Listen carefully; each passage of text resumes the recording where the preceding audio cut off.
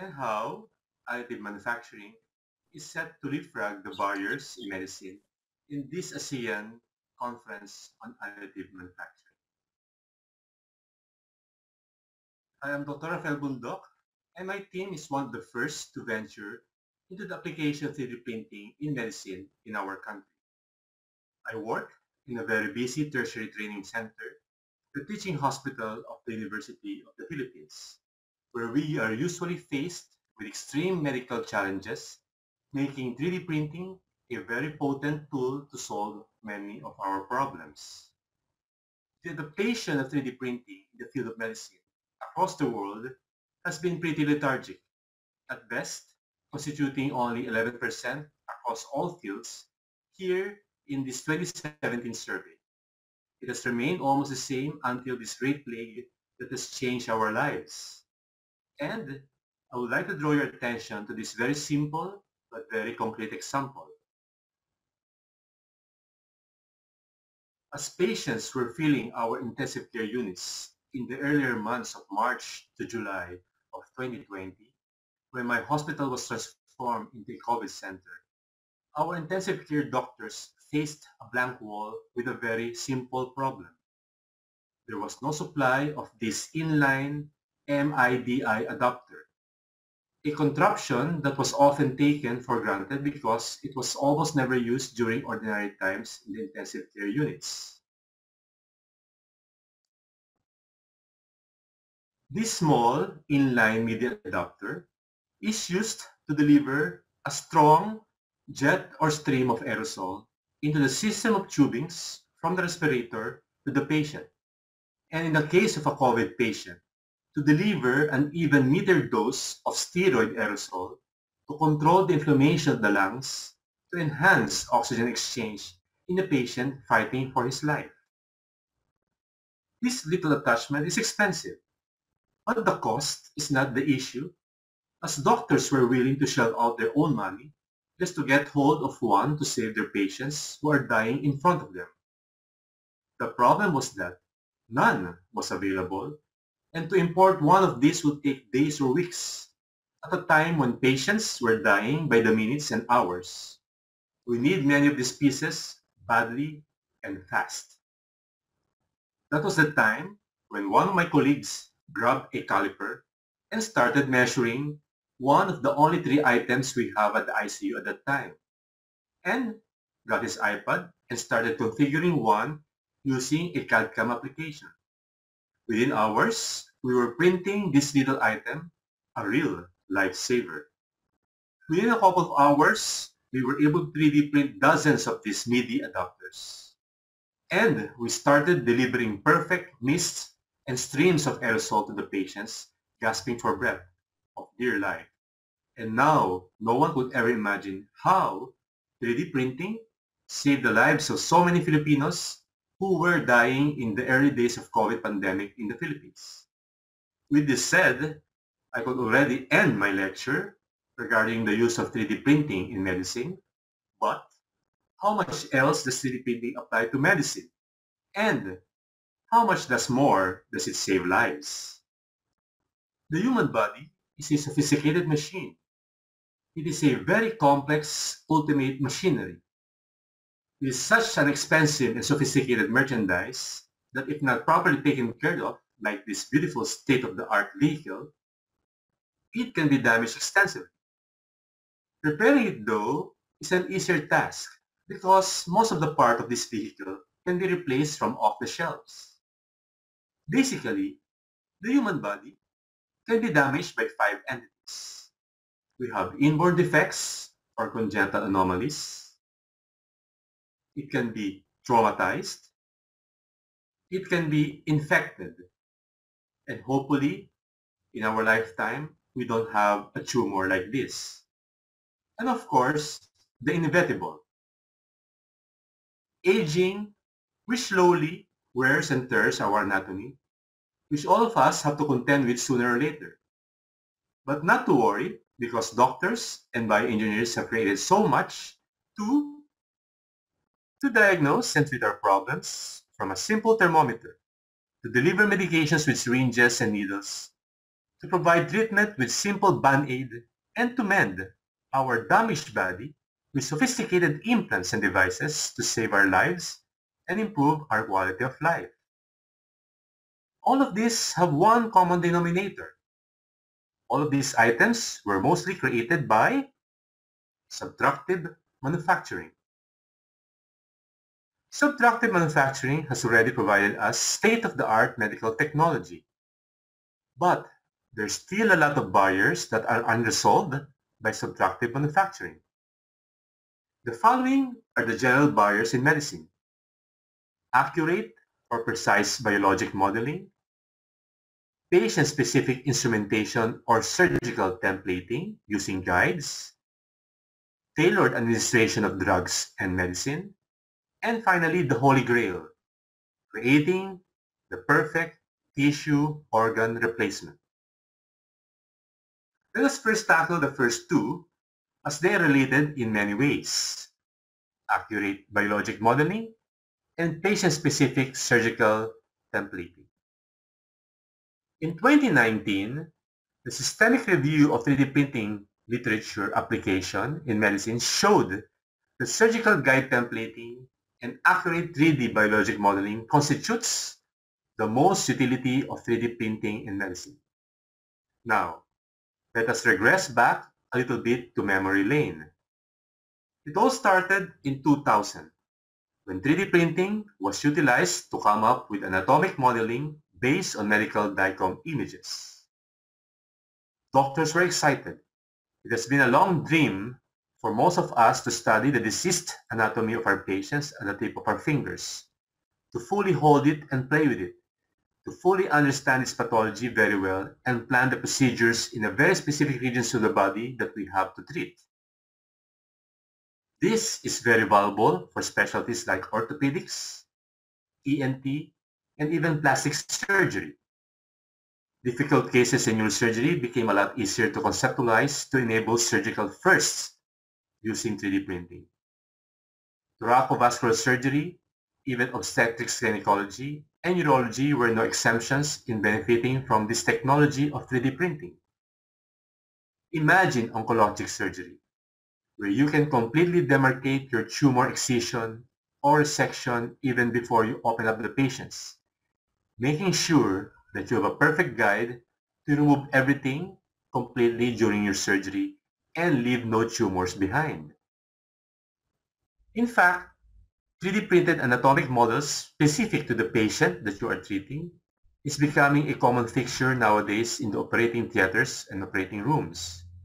Something we have never imagined when we were medical students. However, these 3D printed models before were very expensive because they used to be based and monopolized by elite industries. For almost a decade, they were beyond the reach of common medical and surgical centers, and the downtime was very long from the time of submission of your DICOM files, processing, and the delivery of the biologic models that are already 3D printed. By 2013, the landscape significantly changed when desktop personal 3D printers entered the commercial market which now allowed us to do our own 3D printing exactly in the comforts of our home and offices. Right in the comforts of our home, clinics, department offices, and even call rooms, 3D printing paved the way for your DIY or your do-it-yourself anatomic modeling. Practically, bringing it to our own doorsteps, circumventing the industries who once held the monopoly in this venture. It is simply a matter of converting our patient's DICOM images into STL files that allowed us to come up with perfect 3D printed materials that give us normal and pathologic models which are case-specific to the patients we are handling and treating. 3D anatomic models have been very valuable in patient education and doctor training and preparation. It is very important in pre-surgical evaluation and the haptic preparation of the surgeons and for surgical templating. These do-it-yourself anatomic models are very precise one-to-one specimen of our patient's pathology, like the cervical spine model which we are preparing for surgery the day before. These anatomic models can be cut, drilled, sewed, and machined the way we will do it during surgery, allowing us to practice before the actual surgery days before we enter the patients. It helps us to do precise measurements, pre-cut, and contour our implants, and even try our surgical contracts, thus saving us vital minutes intraoperatively that translates to more refined and faster surgeries. Nowadays, educating our students, residents, and trainees have never been so much fun with these 3D printed anatomic models. Something I wish we had when we were medical students and under training. Let us briefly take patient-specific surgical templating. Accurate biologic modeling provides us precise surgical templates or guides to allow us to perform very precise cuts, drilling, and sewing during surgery.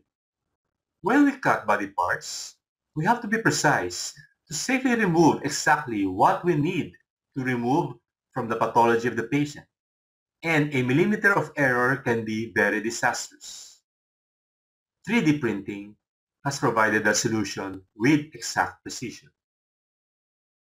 The use of 3D printed surgical cutting and drilling guides is slowly becoming a potent tool for modern day surgery, something that we can only dream about before when we were young doctors.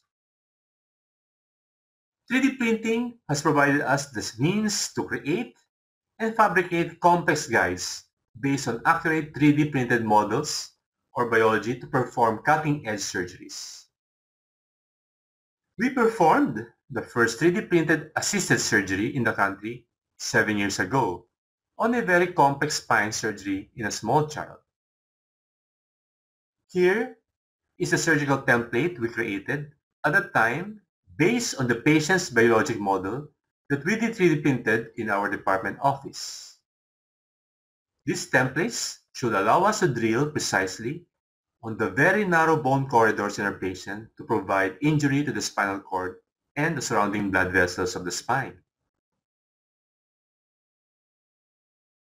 This is a short video clip just to give you a vivid understanding of how these surgical drilling guides are being utilized intraoperatively when we perform our surgeries. By applying this template over the spine, it has allowed us to do very precise drilling over the very delicate spine of a very small young patient close to the base of the skull to prevent injury to the spinal cord. This allowed us to insert our screws to stabilize the spine of the patient very, very safely.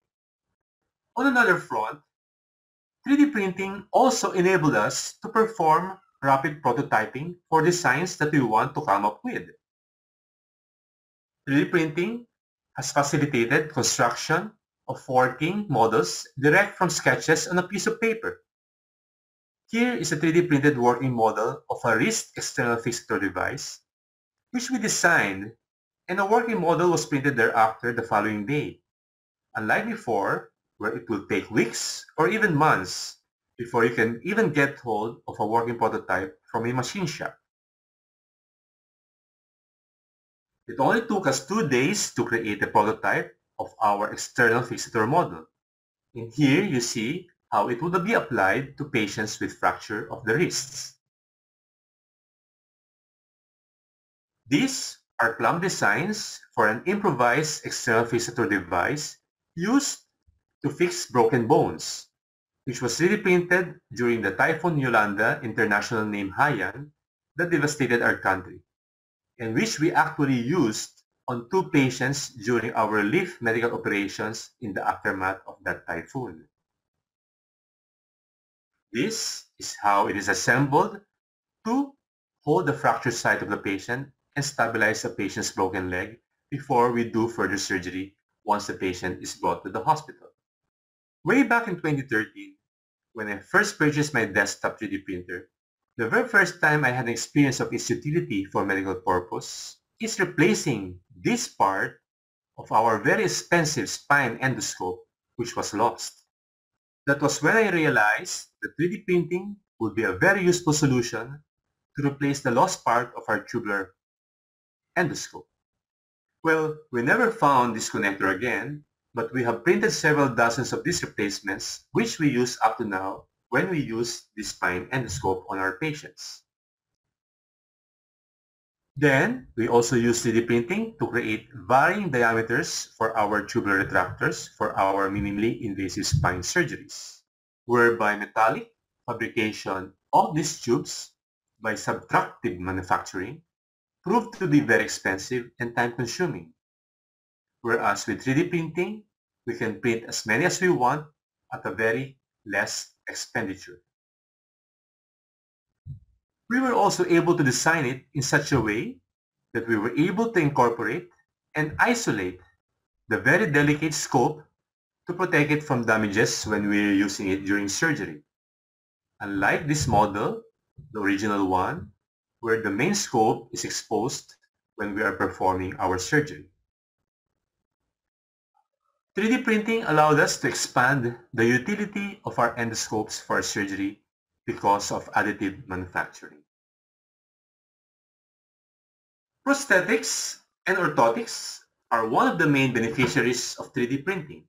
It has been a game changer for prototyping devices for patients with disabilities and amputations.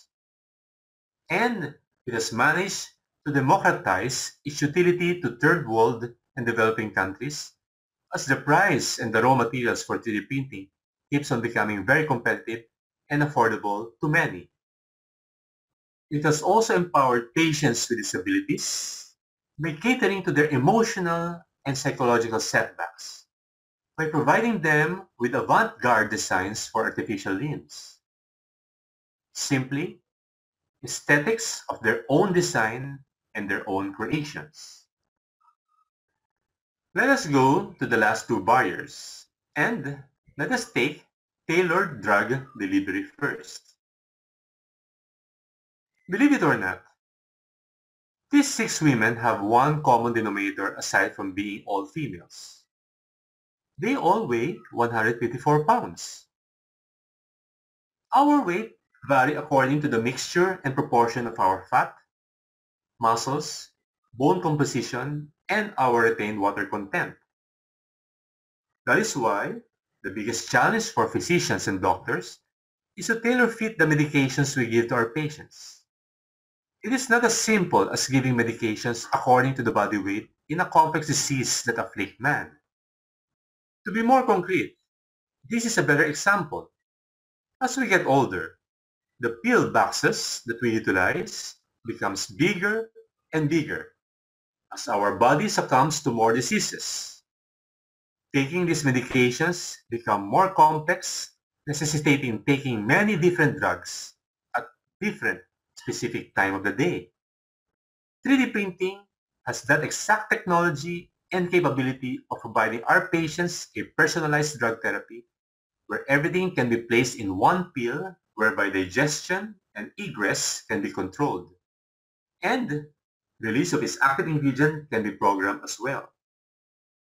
And this can be done with very specific time releases in a thousand combinations. This technology is not futuristic, as they have clinical trials regarding this already. It's just a matter of time when 3D printed drugs will be standard way of delivering drug therapy to our patients. And lastly, is creating the perfect tissue or organ replacement. Creating artificial limbs and functional body parts is the holy grail of medicine. Can we really print specialized body organs like a heart? Is it even possible? There has been numerous successes with simpler tissues, and we are definitely going into that direction. But most of these tissues that have been successful so far are thin layer or homogeneous tissues, not the complex type of tissues like the liver, the heart, pancreas, and the kidneys that have complex vascular, neural, and endocrine components. They have created three to four layers of skin, good enough for simple biologic coverages. Well, of course, until our own body produces our skin underneath it. They have 3D printed simulated bones structures with the basic calcium and phosphorus content, but without the bone cells that make it a living structure. They have 3D printed cartilages that can be used as disc replacement, but it is short of being attached to a living bone because it simply won't attach. It was relatively easy because the cartilage is avascular, meaning it has no blood vessels, and it is aneural, meaning it has no nerves. It is relatively a primitive and a simple tissue. Currently, organ printing is very experimental. An ideal organ is more complex than what they have so far 3D printed because it has to be heterogeneous with multicellular components, with an intricate microcirculation to supply oxygen and nutrition to make it alive and for it to respond to electrical and hormonal stimulations, and one that needs reparation or reparative capabilities as it wears and tears by the day.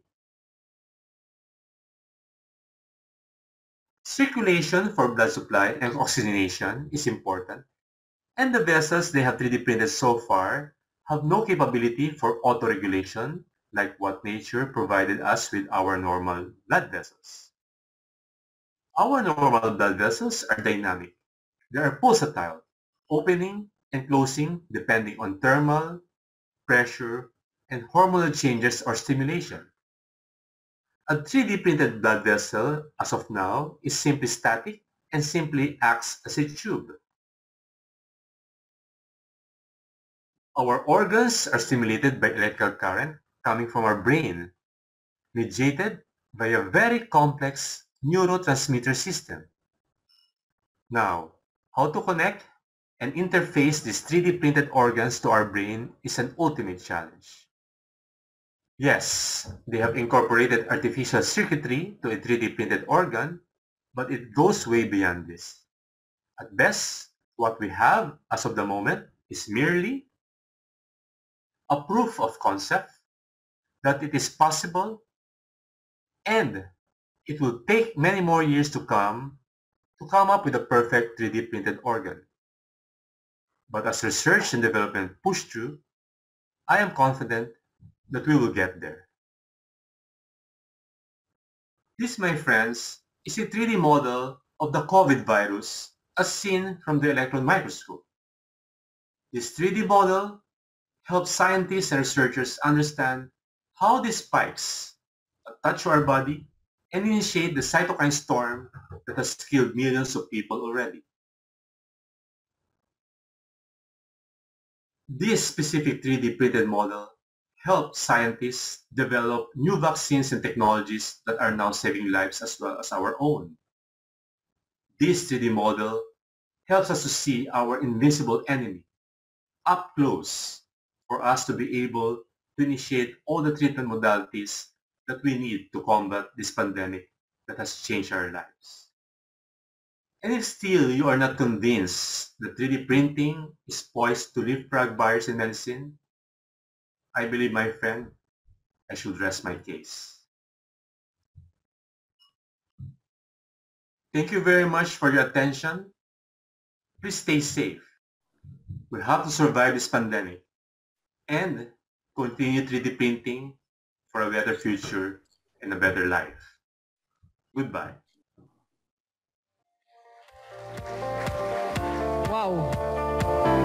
Thank you, Dr. Bundoc, for that very uh, incredible presentation and uh, very touching. So you see how we have witnessed how the additive manufacturing or the 3D printing has revolutionized. We'll support you. Thank you. So may we check on our technical team if there are questions? Yes. Are you okay, Dr. Bundoc? Yes, yes, I can okay. hear you. Okay, we can hear you clear. So the question is, what CAD software does doc, uh, do you use for designing parts or segmenting DICOM files? And what model of 3D printer does you, uh, do you use and what are the most used materials for this application? This is from Mr. Roland Remeni. Remeni. Hello. Uh, we use quite a lot of uh, free applications. The most common that we use is the Horos because uh, many of us doctors use uh, Mac, no? and Horos works very well with Mac. As with the 3D printer that we use, we use the regular available commercially 3D printers. Like for example, mine is Up3D and Ultimaker. Uh, we use a fused deposition method. No? Uh, we're now experimenting on uh, on SLA uh, printers because uh, we have done studies that show that our anatomic modeling is better printed with the SLAs, no? stereolithography printers. So uh, there's a, quite a number of printers around. Anything can be uh, used, no? and the aim is uh, for us to be able to do very good segmentation so that your DICOM image, when transferred to STL, will really produce very good anatomic models. Thank you, Dr. Bundoc. Another question?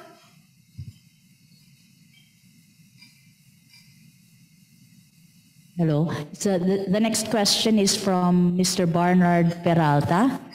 Uh, were there challenges in sterilization of the 3D printed tools? As of the moment, we don't have any 3D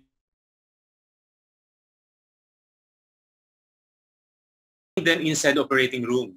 So uh, these models that we use in the operating room, we also have to sterilize them. We sterilize them using gas sterilization. And uh, we experimented on uh, testing the models that we use and even the templates that we use. We found out that uh, there's no shrinkage with regards to using gas sterilization. Of course, we, we cannot use autoclave because autoclave will totally melt all this plastic. So uh, it's easy to sterilize them using gas sterilization and they can be brought inside operating rooms. One last question. Uh, how can 3D printing compete with injection molding for large-scale production? This is from Mr. Ryan Corpus.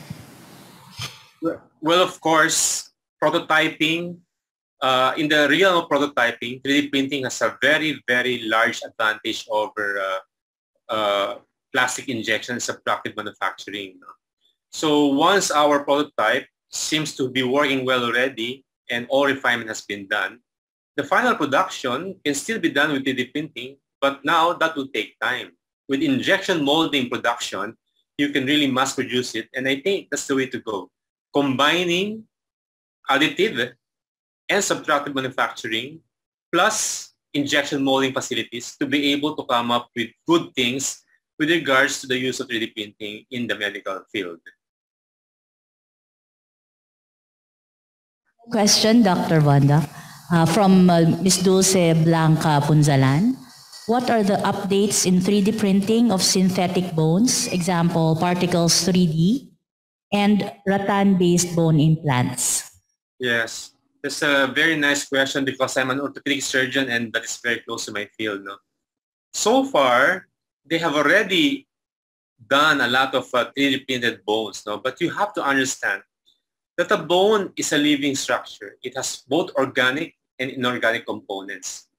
With regards to the inorganic component, 3D printing has already solved that. They have already produced bone models with very good cortices and cancellous part. Meaning to say, they have simulated the intricate interstices of a real bone. Now the challenge is how to apply bone cells into these 3D printed bones to make them living structures. Because you have to understand a bone is not a static structure. It's not an ordinary thing that is just there in our body. It has bone cells inside it that will produce the bone metabolism needed because a bone upbuilds and a bone resorbs. A bone will put on more calcium and phosphorus to build up. And when the time needs, when the time arises that the body needs calcium and phosphorus, it releases it. So the question is, will a 3D printed bone act the same way as a natural bone? And the only way by which it can act that way is for you to incorporate bone cells inside the bone. And that will be the real challenge of 3D printing, how to incorporate living bones or living bone cells inside the bones. By the way, you know, the bone cells inside our bone constitutes only about 10% of the whole bone structure. But that little 10% controls the metabolism of the bone, the way it acts. If a bone fractures, it heals because of the bone cells. Now, will a 3D printed bone, when it fractures, will it heal?